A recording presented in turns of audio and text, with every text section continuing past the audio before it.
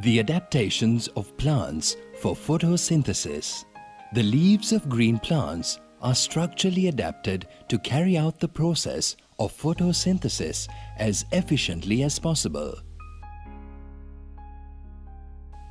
The leaf blade has a large surface area to maximize the amount of light falling on its surface.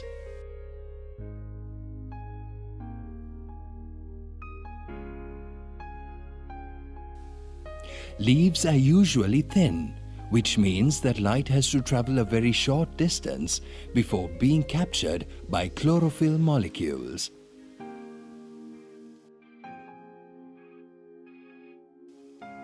The leaf stalk holds the leaf in the best possible position to capture maximum light.